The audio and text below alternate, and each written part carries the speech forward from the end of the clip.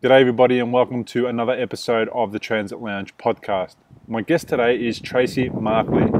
Tracy is the owner of Tracy's Personal Training. She ran the fitness studio in Huntington Beach, California for 17 years before moving and rebuilding the business in Florence, Oregon in 2013. She is a college certified trainer and continues to gain education and holds many certifications, including scientific anatomy of the core and the back, biometric biomechanics specialist, hatha and sports yoga, Pilates, aqua fitness, and more.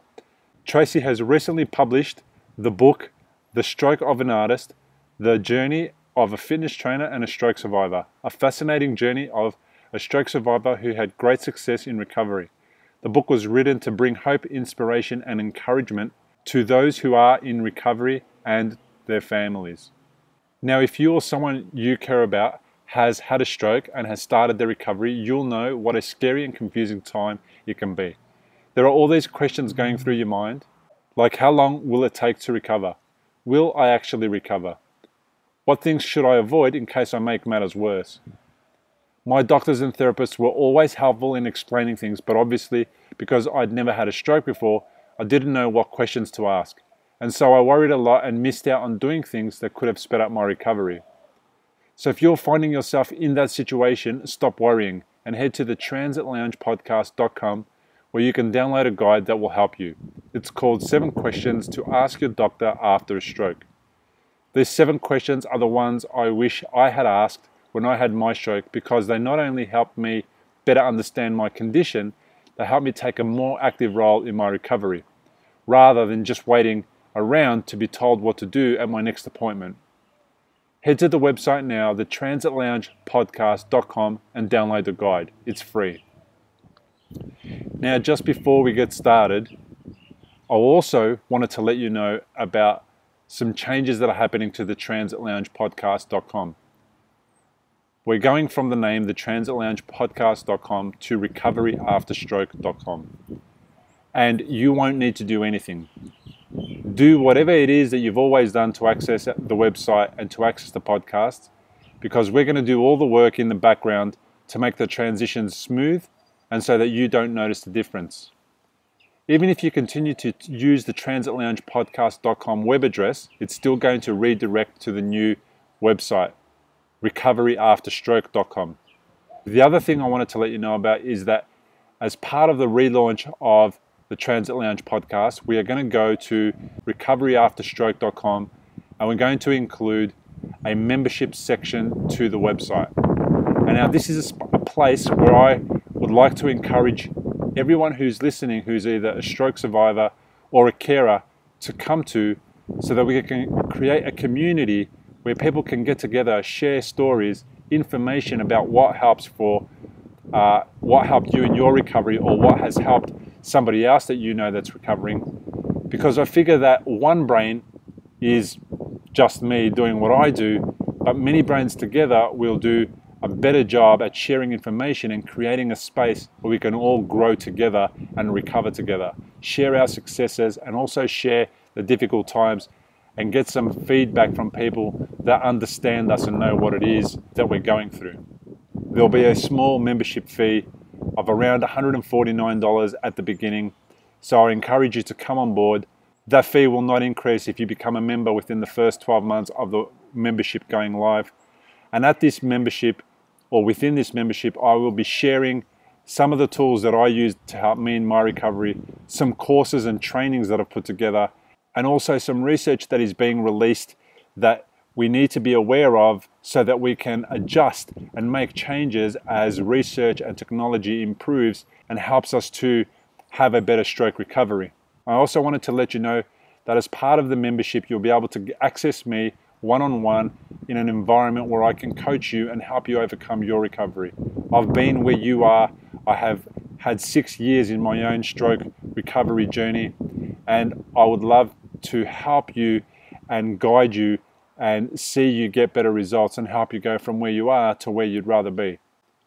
So go ahead now, come across to the transitloungepodcast.com for a little while longer if you're listening in February uh, of 2018 and subscribe to the email list so that when the site goes live, I can let you know and you can come across and you can check it out for yourself. Once again, thanks for listening to the Transit Lounge podcast, and now it's on with the show. Tracy, good morning from Melbourne. Welcome to the program. Good morning. Well, good afternoon from my end. uh, we have had some interesting times trying to get together and record this interview. So I'm glad we finally got got to make it happen. Me too. I'm excited. I've been excited all day. uh, I've been excited for about a month since we first met and since we uh, exchanged a couple of comments on a, a post that we we're following on the internet on Facebook. And then since we tried to get together last time and we couldn't get the technology to help us out, and now here we are, we finally made it. And the reason why I'm excited is because it's very rare that I get to speak to somebody who is on the other side of stroke, in the caring aspect of stroke. And you're not a carer specifically, but you're somebody who helps people uh, in their recovery. Can you give us a little bit of insight how you're involved with people recovering from stroke? Well, I've been in the fitness industry for over 20 years and all different dynamics of people I've worked with, but I've probably worked with about a couple dozen stroke patients in the last 20 years, all at different levels. And the particular survivor, Gary, who was in my book, he was such a unique case that it was just it had to be shared because I work a lot with like the brain and the neurological parts of things, but not because I meant to. It just kind of act, it kind of just, the work I did and studied kind of fell into that. And when working with this one gentleman that I did who's in my book, we got to work together pretty much five days a week almost. And he, it was a good example of doing something every day to get, to give him the pathways a chance to come back for movements and lots of times when we have therapy it's you know half hour twice a week or it's not something every day and the fact that he was every day doing something it was such a good example that possibly if people did more than just a therapist say or not that or not i don't want not that therapists are bad just more that they can do there's a possibility they may have more recovery than than they think they're able to yeah okay. does that make sense it does make sense because one of the things that happens when we uh, get to, out of hospital is often the doctors have set the limitations. They've said things like, um, this is about what you can expect. They say things like, well, from now on, it's going to be slow and long and tedious and all those types of things. So they create these uh, negative environments that they get people to go home with. And sometimes the mindset can be really difficult. After stroke recovery, we really struggle with, during stroke recovery, we really struggle with not only all the things that are harder now, energy levels are harder, you know, the brain is not working properly, thinking is not working properly, then we also struggle with what we've been told that we can possibly achieve. And sometimes what the doctor say is negative. So it doesn't surprise it's, me. It's hard to find your place to put your mindset on hope. Like having your hope, it's kind of, as I see with people, you don't know where to place your hope and you don't know because you have the limits in your mind and possibly some limits are true but maybe not you don't know yeah but when they when i hear them be told that they you know after years as far as you're gonna get it's like that's not true like i was listening to your last interview that you just uploaded mm. and you mentioned to the gentleman you were talking to how you get the numbness in your leg still gary was at almost three years post stroke, and I was with him and he was standing in a Bosu ball, and he said the feeling just came back in my leg. Three years post stroke. Yeah. And I'm like, oh my god! I was with him when he got feeling back in his hand. So I never seen him limited like the comments that people have said, and I thought, you know, I know there's people out there probably know what I know, but being a trainer, I know the personal trainer name kind of comes cliche sometimes. Mm. There's a mm. vast of education that some have and some don't. And I push education a lot. I just don't think I if I limit my education, I would limit my clients. And I so like with working with for instance the my gentleman who was getting all when he kept getting these feelings and sensations back i'm like this is so cool. I want people to know what he experienced he did too. He wanted to help people but i wanted people to know what i've experienced because there's probably people a lot smarter than me out there that might grab something that i found with him that might, might make them go oh let's do this that could help them even further than i know you know because does that make sense? Yeah. I just wanted to share what I've experienced because it might help somebody else click and go, oh, okay, let's go here. Yeah. Um, just so that we can create the context, have you got a copy of the book there that we're going to talk about a little bit later? Um, and pop it up into the middle of the screen. And that's the gentleman, yep, that's the gentleman, Gary, that we're talking about, right? Yes. Okay. And it's Stroke of an Artist, the journey of a fitness trainer and a stroke survivor. I met him six months post stroke in a walker, and that's the most fragile I ever started with someone. Mm. It was a hmm. stroke survivor. Usually, I meet him either the stroke didn't affect him as bad, or I meet him further down the line.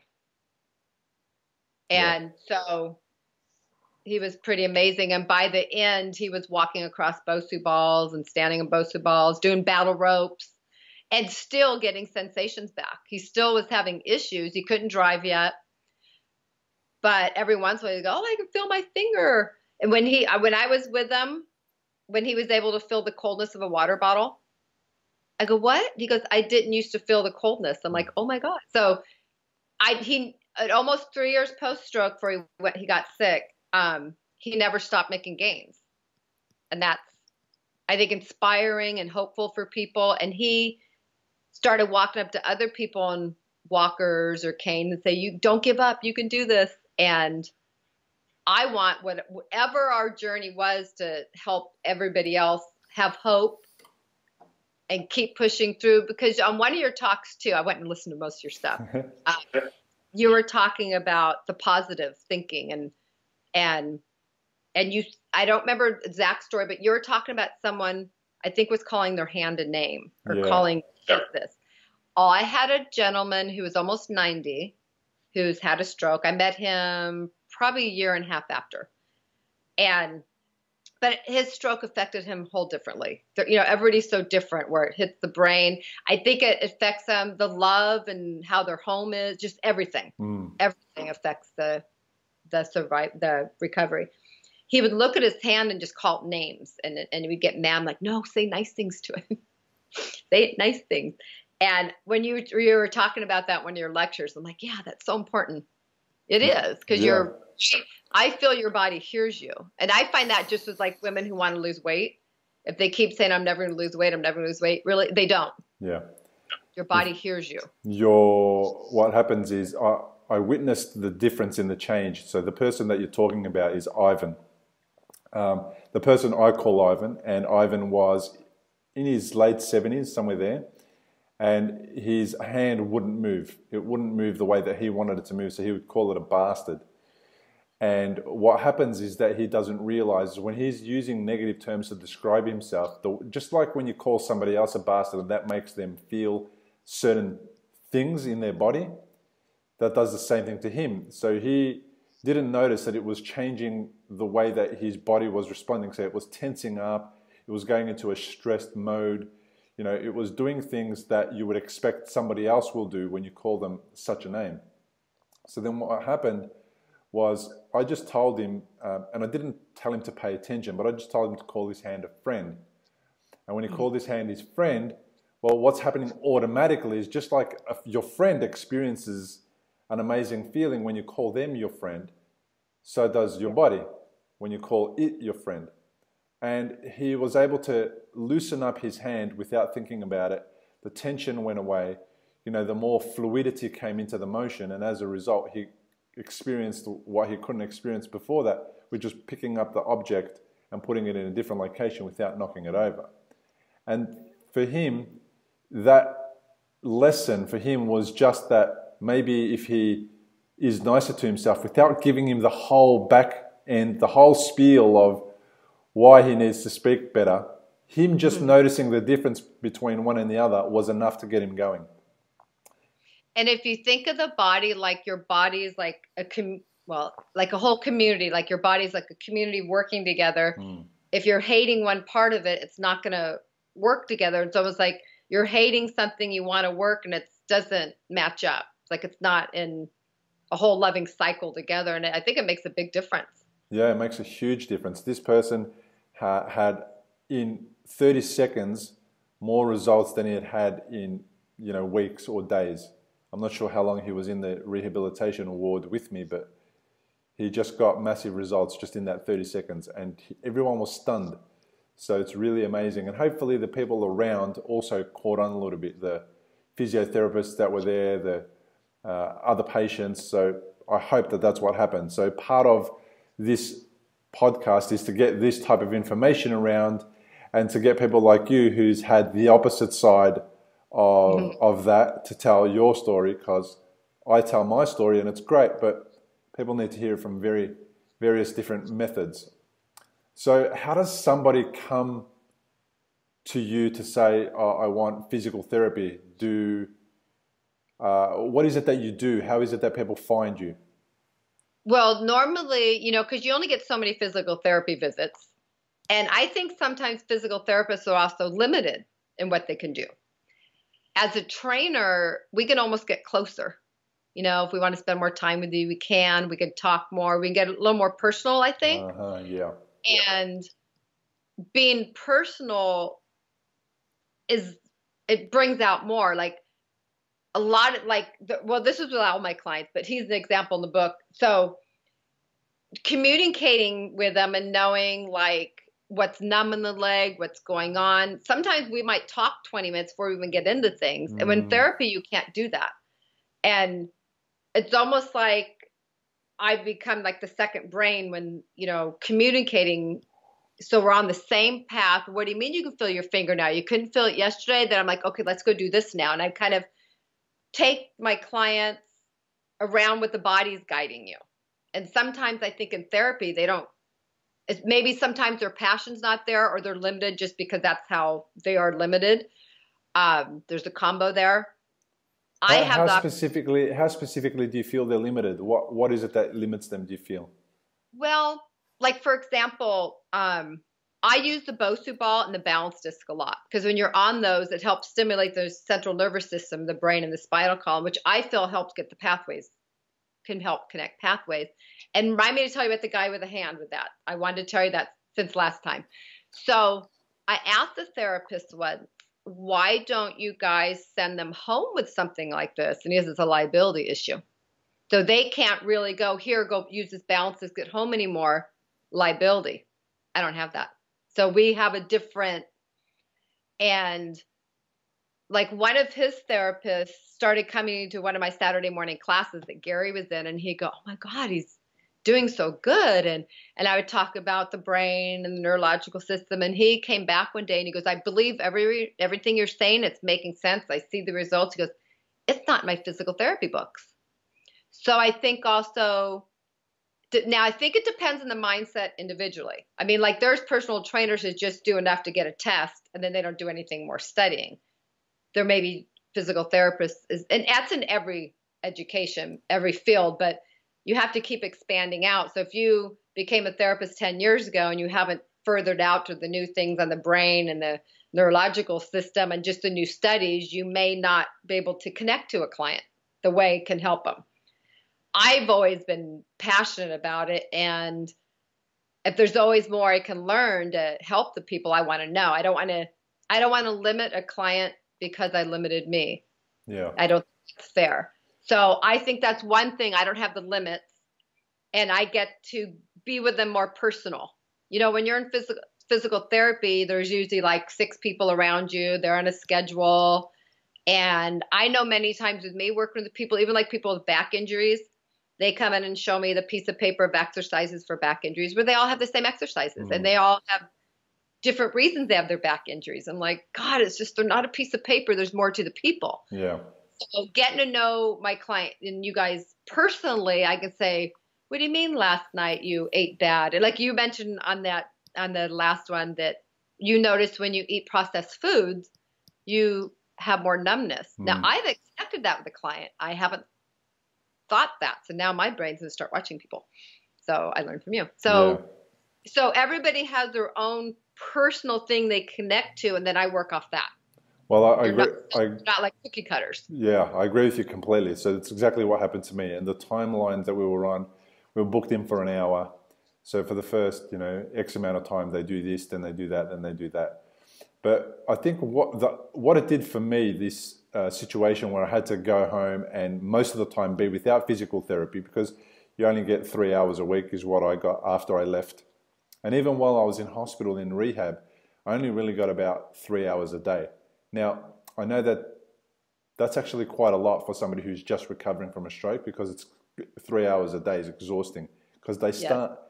they start off with 10 minutes a day and then they move up to 20 minutes a day and then slowly after a month in rehabilitation you're doing maybe three hours a day um, so for me what was happening is there was a lot of downtime where i felt like i could be doing more especially when i had energy and I felt good about myself on the particular day, or you know things were just going my way. Yes. And part of this message again is I feel like is like we need to take responsibility for our own healing as well, so that when we're not with Tracy, so that we're not in physical therapy, we can you know do some things that are specific to us that mm-hmm. help us recover from our specific challenge, our specific stroke or injury or whatever it is. Um, so I know a lot of the people listening and watching on YouTube will have gone through something similar. And one of the constant complaints from people recovering from stroke is that there's just not enough therapy. There's just not yeah. enough services, and I don't really enjoy it because I'm doing stuff that doesn't interest me. And that's what I love about what you do is because you know p- people I imagine can tailor a program to their needs Mm-hmm. And it changes with because you don't always know which pathways are coming back when. So, and because he's in the book, because he was so so connected, he can come in and say, you know, yesterday I did this. I'm like, you did? Okay, let's go to that. Let's go do this now. So, so that's really cool. But not everybody's that connected. So it depends how. So you seem very in tune to yourself. So it also depends on the mindset. This is with any goal in life, how in tune you are with your own being. If you can, you know, you know when you're sad because this happened, or you know you're really tired because you didn't sleep, or did you get in a fight with your wife? I mean, there's so many. If you know kind of why your body's in the state that it is, it helps. Mm. I know sometimes after stroke, things you don't know why things do mm. things either, but the more in tune you are, that helps me get in tune. So that we were so in tune from the day we met. It made it almost like this magical thing. And it just made us feel like this journey should help somebody somewhere. And he always has said if his story just helped one person, that one person's worth it.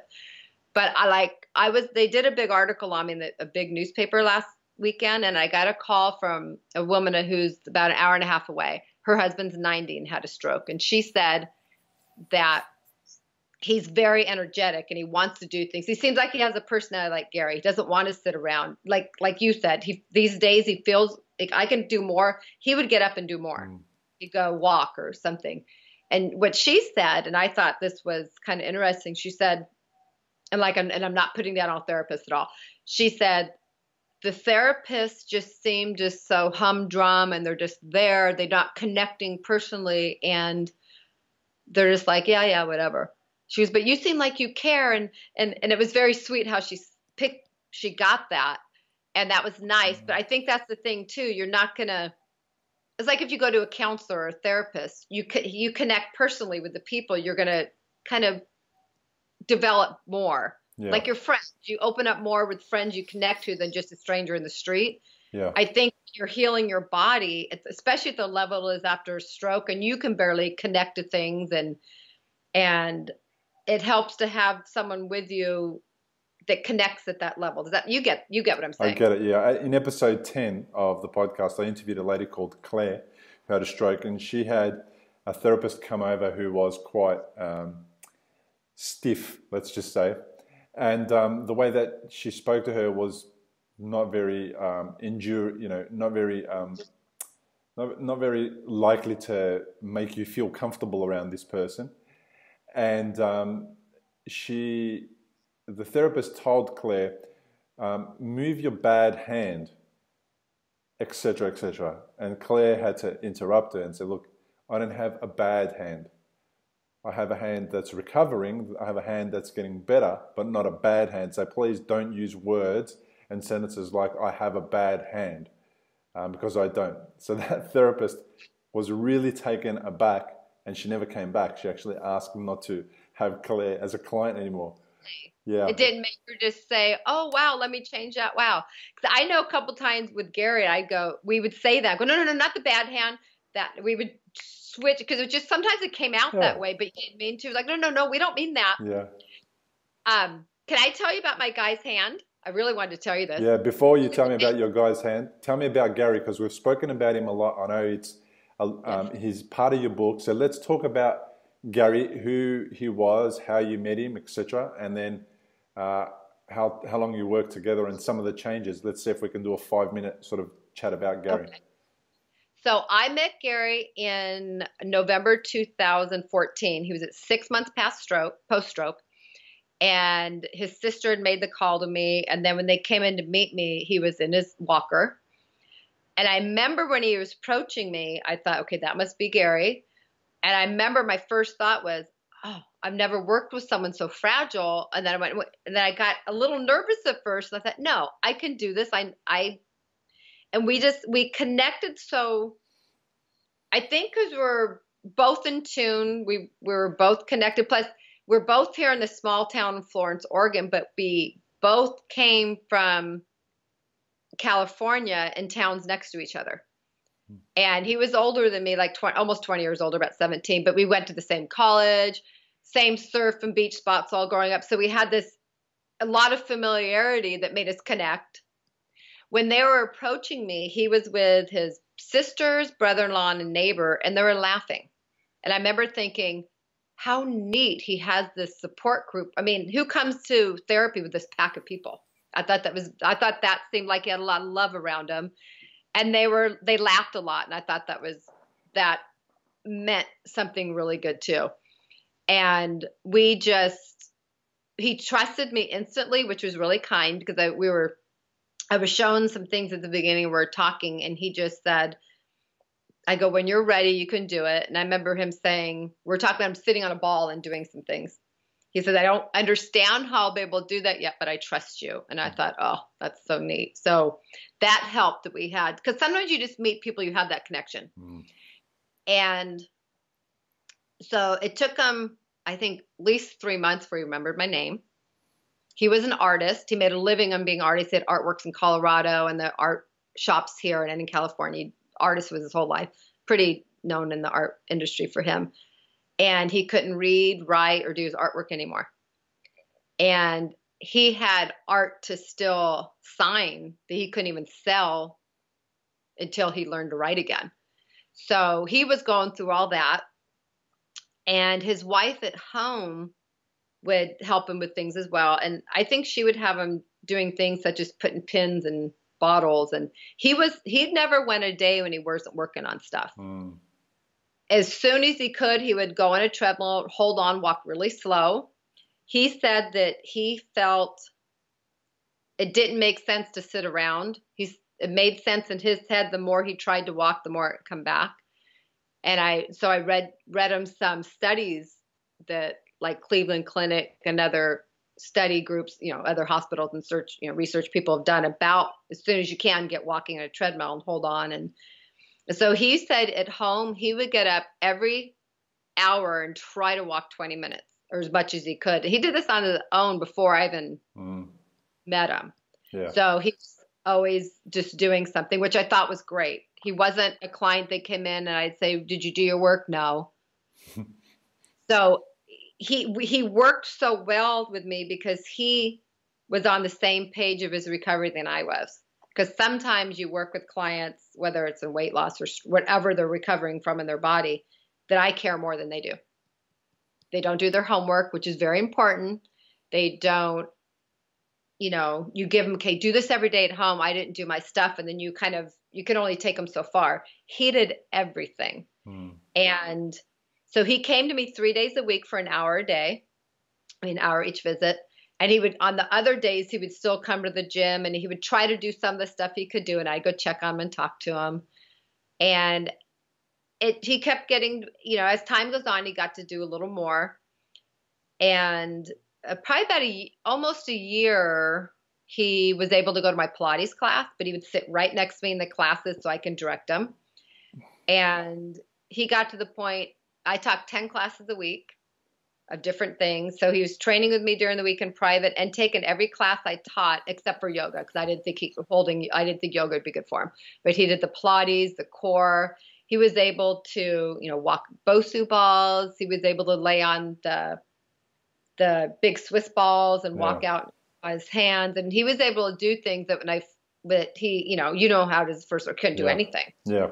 And I remember him just like dragging his hand, dragging his foot, and it got to the point where he can start doing things. It just it was it was fascinating to watch him just go like that. And and he was always very positive and we would laugh a lot, but he's very connected. He wanted to learn. And but he'd have his times where he'd just come mm. in and mm. say, you know, strokes suck. That's important to say actually, yeah. Yeah. And I remember him saying that so often that one day I go, you know, we should write a book and call it Dear Stroke, You Suck and write your journey because you have a journey that's a little more outstanding than the typical client. Mm. And I'm with you five days a week. You, know, that's a rare thing for both of us. And well, sometimes six days a week. And so we kind of laughed it off, but I thought, no, we have to do this. So we did it. Well, I did it. He couldn't read or write, but but right about a month or two for the book was going to editing, I was he was start he was he's been doing his artwork again. It wasn't the same. He wasn't really happy with it. And so I asked him, "What is it like now?" And he said that you know, when he used to do his artwork, he can, you know, I want to paint a long black line and he could. Now it's a thick, thick, short stroke and it drives him crazy. I'm like, oh, a stroke of an artist. Let's change the name of the book. So mm-hmm. that's how we got the name of the book. It just kind of had two little things, but it made sense. And but through the journey, like he came in with the brace on his leg. I always forget the name of those. They do that a lot for drop foot. Yep. And and I remember the first couple weeks, and he was showing me his brace, and I said, you know, I don't get how the body, wherever we build, what the leg needs to do down there with that on there. Mm. It, so I go, can I see what you move like without it? And he he didn't want that thing. He would told he was told he'd have it the rest of his life. Well, I think within the first couple weeks with him, it's gone. He just stopped wearing it. He would wear it there, take it off, and I was able to help him get his foot drop and everything coming back in. But with that on, you can't. And not that I'm telling you they should take that off, but because we worked with him from his center, I hmm. believe people. Your body goes to the center. I mean, like, wait, let me rephrase that. Working from the inside of the body out. Mm-hmm so my studies are the brain sends a message to the parts of the center of the body to stabilize before movement. So you have, and that's in the book too, you have the multifidus, the transverse muscle, and the pelvic floor. They're in the same neurological loop. The multifidus is a muscle all down the spine, you know, the little ones goes all the way down, and that's the main stabilizer of the spine. And a lot of studies says that muscle gets a message before anything else to stabilize the body. You're going to move.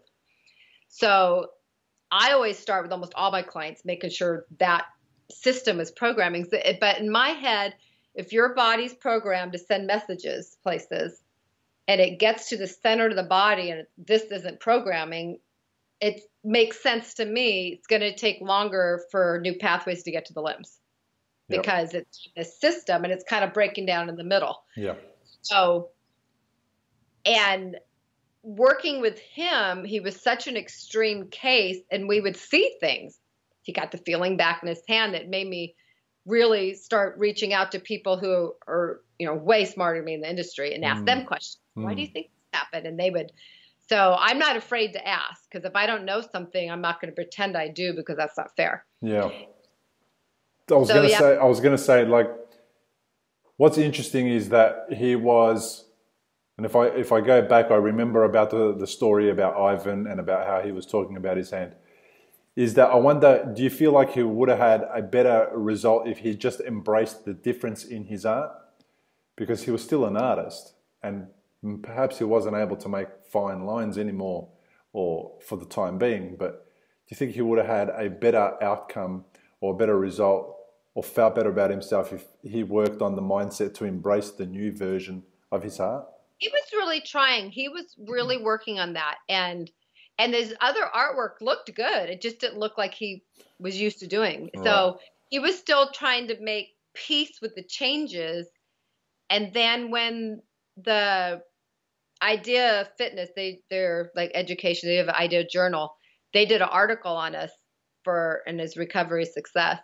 And when that article came out, he almost just his focus wasn't so much art. All he wanted to do was his have, have his story finished in the book so he can help people. And he just wanted to so out his journey just changed. He wanted to do art, but trying to find peace with his new art became not so important to him anymore. So it was kind of kind of cool. Yeah. And neat. And some people didn't understand that. But he did. I understood it because he knows how hard it is to come back from a stroke and how frustrating it is to try to make your body work like it used to and mm.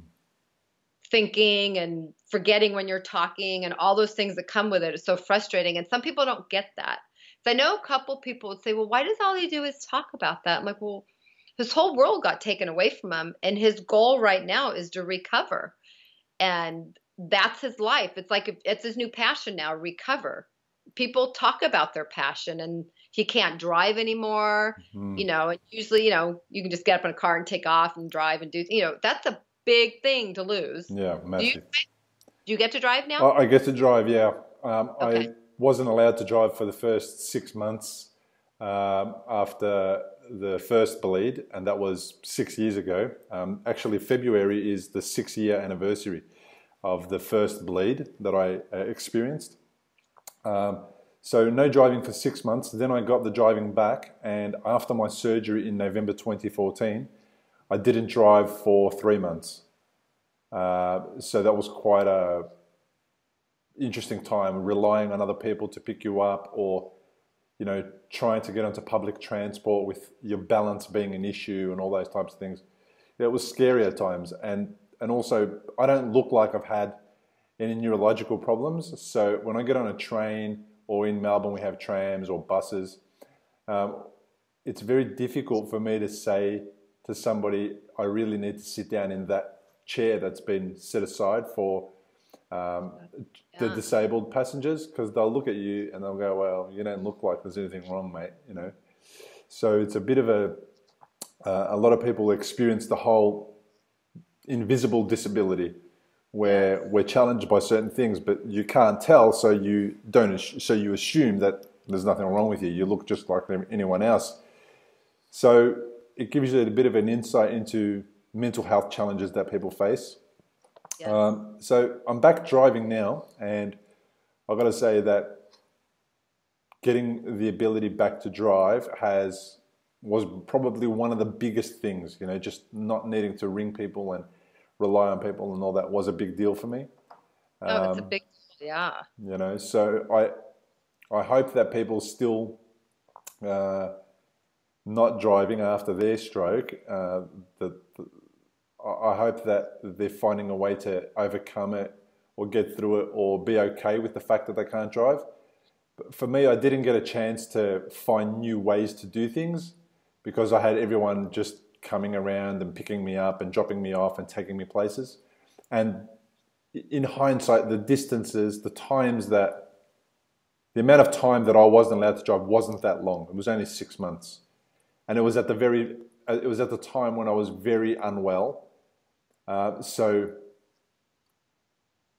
I think the independence thing was more related to how unwell I was rather than uh, the ability not to drive. So by that I mean that it was related to am I always going to be this unwell where I won't be able to drive? It was kind of that that was playing on my mind more than I really want to go somewhere today and I can't go because I can't drive. It was more I want to go somewhere and I can't go because I don't feel well.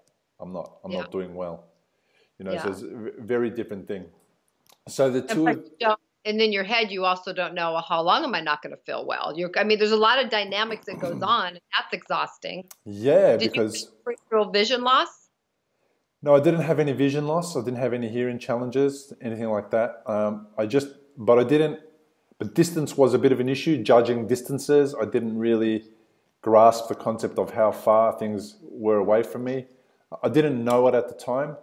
Um, but what I remember now is that I used to walk through doorways and knock into the door or knock into the door frame or and I didn't understand why that was happening but it was because of my I wasn't able to really properly judge just distance from me and Well, from you things lose your spatial awareness of what's in your space. yeah That that's interesting. Was I remember in the book, if I'm not interrupting you, um, I remember well not in the book in the it, with Gary. I remember him just out of the blue one day, just just stopping in the gym and saying, "You know, I know there's cars over there driving. I know people are here, but I don't feel them." And I'm like, "Oh my God, he just described aware spatial awareness and proprioception, and he doesn't even know about this stuff." Yeah. I'm like, "God, this guy's so connected."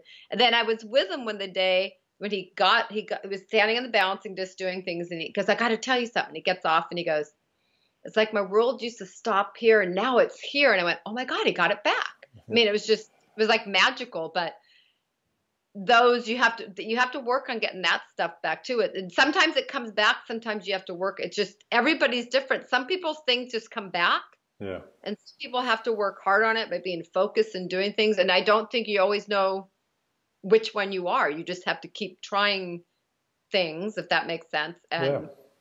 you just don't know because Yeah. the stroke is so different. Yeah, you have to be curious. You have to be curious about, oh, what if I try this and what if I try that, and and then you'll discover things that you didn't know before you tried it. So, I see. I think that's what got me to where I am. Curiosity, you know, constantly learning, learning from others, researching what I could when I could, and you know, six years down um, the track, like I'm, I have a lot of information. I'm I'm about to sh- start sharing that in a membership section of this particular podcast. So the website will change names from the Transit Lounge podcast to recoveryafterstroke.com. And recoveryafterstroke.com will be the podcasts, which is uh, something that people can just listen to, like you did. And then there'll be a membership section where people can come to, sign up for a year, and run through some courses that I've put together, and also get coached one on one by me. That's So nice. what's really important is what your your client Gary was saying is that we need to now share this information with other people. There's no point in me knowing all these things about what helped me and keeping it to myself. What's the point of that? Yeah, because there may be one thing that you like, like when you mentioned earlier in that other, um, in your other interview about how you connected to the fact that you got more numbness in your numbness, you felt more numb the day after you had processed food. I'm like, wow, now that saying that, I'm pretty sure in the next year I'm gonna have a client and that's gonna help them. That's just how it is when you learn little things. Yeah, all little things and they help. Mhm. Yeah, so um, do me a favor. Can you tell me how the book came to be? So you guys decided that you were going to write a book or, or put a book out, but you actually wrote it. Which you know, a lot of people say, "Let's write a book." I'm going to write a book. What well, made I you was write keeping it? records of his um, Ah. just amazing moments, and um, I might sneeze. Excuse me if I do. Um, and I would just, I was just so in awe about the stuff with him. And one of the times, so we were talking, I was telling him I'm going to write this, and I don't, you know, I think he believed me, did it because, like you said, people say things. So I was keeping notes, and I actually kept notes in a like a just a construction paper book of colors and I would go to this page and write this and when he did something I so I had like a treadmill page. I think I just thrown all over. It wasn't it was organized in a sense I guess. And then the one day I just sat down okay it's time to put it in writing on the computer and I didn't know what I was doing. How do you write a book? I don't know. So I just kept writing then as things were coming together I'd meet someone that's written a book before or one thing that was just everything about this journey was just crazy cool. So I wanted to put a chapter on muscles in there. I wanted to put a chapter on knowledge, at least what I know of knowledge, because I know with me, if I understand why I'm doing things, it would make more sense to me. Plus, I hoped anyone who's a trainer in the fitness industry who doesn't know a lot about things of strokes, it might help them help somebody better. Because I don't, like I said earlier, I don't think it's fair to pretend you know something when you don't. Or I think it's very proper for a trainer to say, you know what, the trainer over there is more experienced in this. You should see them, they can help you more. I mm-hmm. just think that's so much better, it's kinder, and it's fair than to fake it. So I wanted to put whatever I knew out there so it can help whoever too. So um so I couldn't draw muscles. So one day I'm at the gym and this lady comes in and I'm talking to her and I'm showing her some things. And she, I said, you know, you really understand the muscles. Were you a nurse? And she goes, oh no, I, I did anatomy and illustrations for nursing manuals for 25 years. Why do you need my services? I need to volunteer my time. I'm like, what? Are you kidding me? And then I told her about the book. She goes, I'll help you. I'm like, seriously? So she did. I told her what I wanted. She she did, you know, some of the things I wanted and and yeah and that and then and, you know gary being an artist i told him the next day and he's like oh my god do you know how hard it is to find an artist even does that kind of stuff? But then she walks into this gym and this small town to you yeah. and offers so i know this book is just meant to be. So everything was just saying don't stop this project. And then as we you know when he got sick um gary it was right time. when gary got sick yeah, he got sick. He was doing really good. In fact, about a week, it was about two weeks before he had to go in the hospital. That's when the numbness was coming back in his leg. He got all, um, I mean, the feeling was coming back in his leg. And the interesting thing, too, is his balance got a little off again. His, like, his brain had to learn how to rebalance with feeling in the leg.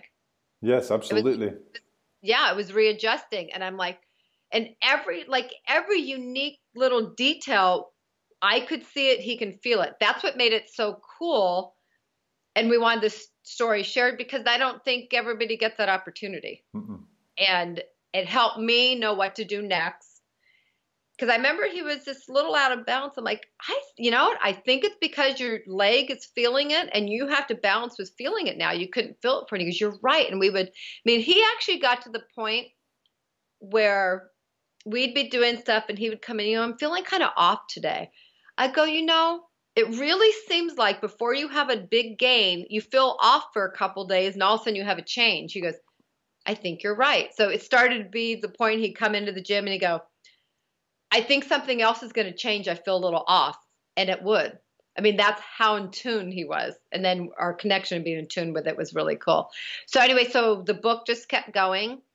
And he made me promise no matter what to finish it. I'm like, I am, I am. But it, it was hard. Mm. You know, and at one point we thought maybe don't use his name. And so I had it called, we changed his name to something different in the book. Then I would change it back. And then, you know, then when he called me one day and said, you know, I won't make it to class today. You know, I couldn't breathe last night, so I need a he needed to go in for valve replacement. And um, so he was in the hospital maybe six or seven days before he had the surgery. We were talking every day, and he was just like, let's get this over with. Let's make this the last chapter in the book, my heart surgery and recovery, and we'll move from there. And then he had the surgery, it went well. They went back in, he had a massive heart attack, which sometimes they say that's common, but something happened and it went into more complications in his colon and it just ended up being sick. After six weeks in ICU, he passed. And that was just last May. And it was very hard. So we have three people trying to edit the book, me and these two other girls, and we're trying not to cry because we're editing and grieving and and you know, so I think it turned out pretty good for all it went through. this book went through a lot to get out. And yeah. Yeah, so. I understand. Like it's amazing. it's amazing, firstly, that you're connected with your clients. Really heartwarming to see uh, a physical therapist who has this type of connection, but then you know somebody who's a personal trainer who's not really in that state uh, mm-hmm. of play. You know, normally it's really heartwarming as well to see that you've had this connection with this person. It's yeah. great to see that you're able to now tell the story about the results that you noticed, the difference, the before and the after in your client who became your friend, who became your co-author. Um, and it's really important that these messages get out there because there's a lot of people that are going through a tough time. And I think the more and more I share these stories and interview people, the more I'm thinking about the carers. And mm-hmm. you're not necessarily a carer, but the people that you're supporting the most, who you may not realize you're also supporting, is the carer. Because if you get, you know, that person back home better than what they were when they started, then that carer gets more relief. They get their life back. They get yeah, less stress. Yeah, because if you can go down the street and start walking without a cane, now your partner, yeah, it just it changes the whole dynamics of your whole life. Yeah, so and not only was, not only do you get me back on track and me feeling mm-hmm. great about myself, you're affecting so many other people in the community, in the family, in my circle just like that as well. You're doing more than just recovering the health of one person. Yeah, which is kind of neat. And I and I know that, but hearing you say it, it's like, oh yeah, I forget that part. when you do, but sometimes you kind of feel it in your heart. It's like, oh, that's kind of cool. Well, you know, but when I was when the book was ready to come out, um, which was November, I was just it just out of the blue, it just hit me. I sat down, and I started crying, and I thought, oh my God, if I would have limited my education, I would have limited his result, and he would have always thought it was the stroke.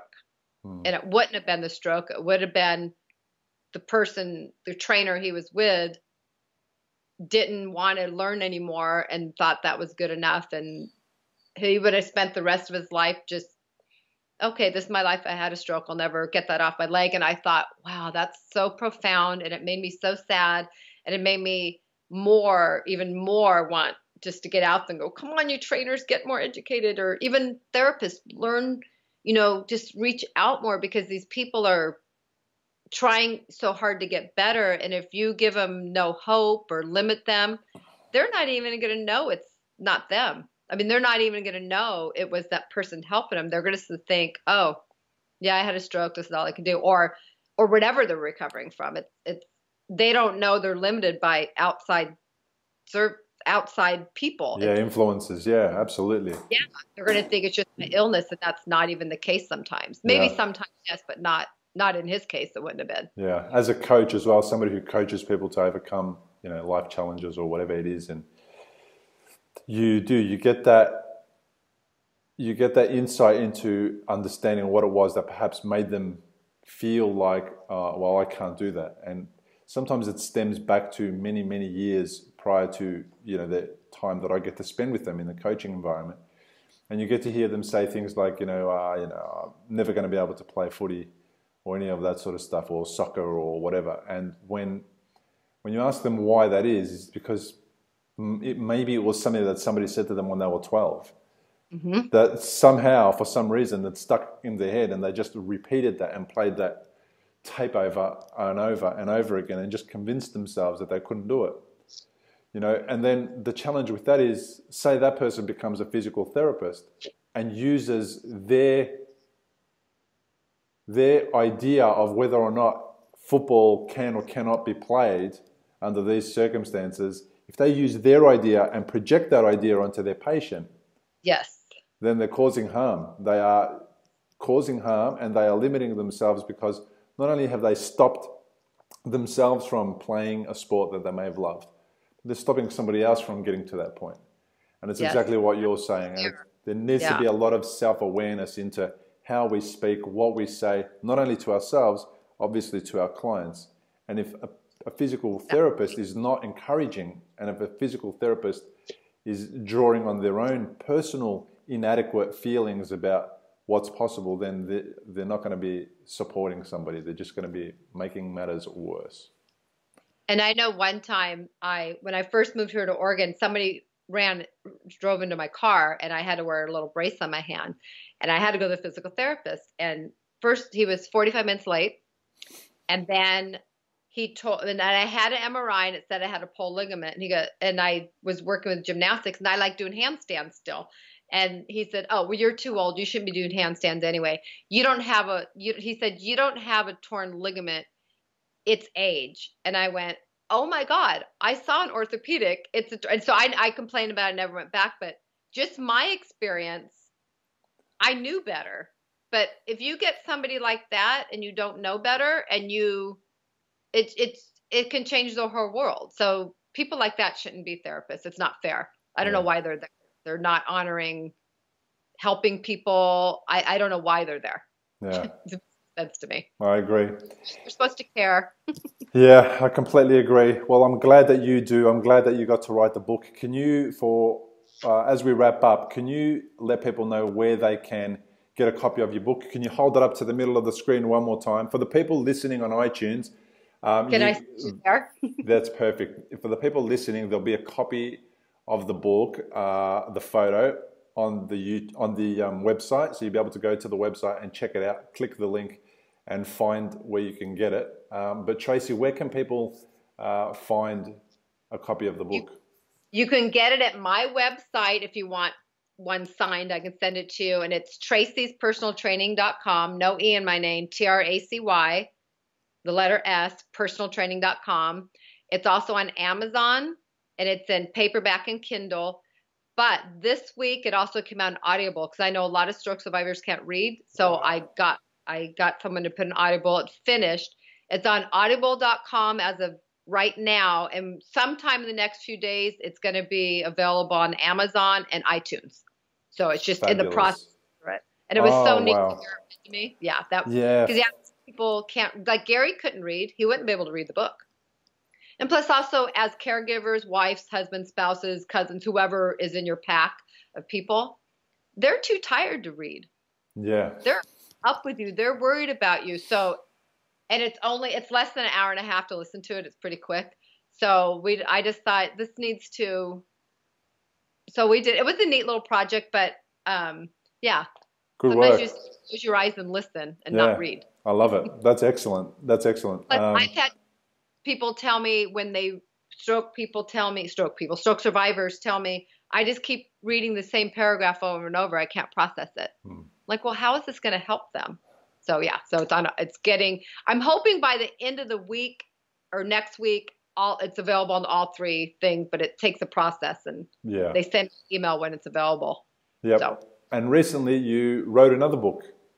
I did, and it's called "Stepping Towards Balance," and it's about. There's a little bit. Gary has a little part in there too, but it's about eight different chapters, little short chapters, maybe two pages each, of different people that had balance issues, tripping issues, tripping and falling, and different illnesses or ailments that brought them to that. And then I put in the eight, the eight exercises I use with people. I mean, I use a lot of them, but these are basic eight I always use with people with balance issues. So those are at the end. And it's because I've had several people here in town tell me that now when they go hiking in our, our beautiful forest we can hike in, they start they trip over the roots. Yeah. Or they're, for some reason they may have the foot drop, so they they've lost the awareness in space where they step over items. So these these things I've done with people, all these people in the book, they've gotten it back. And one was 90, he doesn't fall down anymore. I worked with a lady who's 105, so I have just little pieces of people in there, and hopefully will help them. Yeah, or absolutely. Also, other trainers learn how to help clients better with things too. It's I have two. Definitely going to help. It is definitely definitely going to help. Everything that you've said, just to me, is all the things that I wish that I could have learned and done early on. Uh, without all the research and all the trying to find all the different solutions and answers and trying to find all the different people. I think what's great about it is that if I take my book now and I need a physical therapist, if I take that book, my copy of it, and I just hand it to her and say, look, read this, this is what I need. If you can help me out, you know, in these areas, that would be great. I need you to take this particular approach. It's a, another amazing tool in the toolbox of stroke recovery. I thank you very much yeah. for thinking of doing it. I thank you very much for doing it and putting the effort in and making it available on audiobook. That's even better. That is just the most amazing thing because it's exactly what you said. When I was trying to get my ability to read back, I would just go over one paragraph forever, forever, and just over and over. And it's not that I didn't. I, it, it wasn't a complicated book. It was just that I couldn't process in my head what that paragraph was saying. I couldn't remember what I started, you know, 10 lines back. So I had to go back and keep reading it. Um, and I've heard so many people tell me that. Yeah, and it's part of the learning process, but um, it's also challenging, especially when you just want to get good, get through a good read or a, you know a good book. Yeah, it's frustrating, and then you're and you're also I know in people's heads when that stuff's going on, it's like, is this ever going to come back? And you know, it's not like you're being negative, but it is. Yeah. But you do think, was this how it's always going to be? Is it going to come back? Even though you people may call that negative thinking, but it's really not. It's kind of natural wonders too. Yeah. So I think that happens too. I think we get into the negative thinking when it's not negative thinking and it mixes people up in their own process yeah. of thoughts that are natural to have. Yeah. And I think that limits people too because they're battling with not being negative when they're really being positive and the whole negative positive thing I think messes with people's heads. Because mm. sometimes you're going to have a doubt because it is natural. Yeah. You know, it's like, what, how long is this going to last? Will I be like that next year? Will I have another stroke? I mean, I think those things are normal to have, and we're and it it's just another stress to put on you to yeah. judge thought. Do you know what I mean? I do absolutely. Look, it was lovely to get to know you for about an hour. I look forward to keeping in touch and learning about the successes that you have. Please feel free to drop me a line anytime. I would love to know what, what it is that you're up to. And if there's anything I can do to help out, just please let me know. And I know several people I know are going to start watching your YouTube too, because I've been telling people. Thanks, Tracy. I loved hearing you. So, pardon? Thank you. I loved hearing you on your videos when I went and looked you up. Like, oh, these are great. Yeah. I get to be part of How exciting! Yeah. Well, that's thank that's. You. Thank you so much for saying that. It does. It, it is what I can do to give back and to start sharing what I know and what other people know. What's the point of us holding on to that and not telling anyone about it? And you were funny too. I'm like, and he's funny too. I try and be sometimes. Um, I say dad jokes to my kids. They don't think I'm funny. they will someday. yeah, I doubt it. Well, thanks again, Tracy. We'll talk soon. Okay, thank you. Have a good day. You too.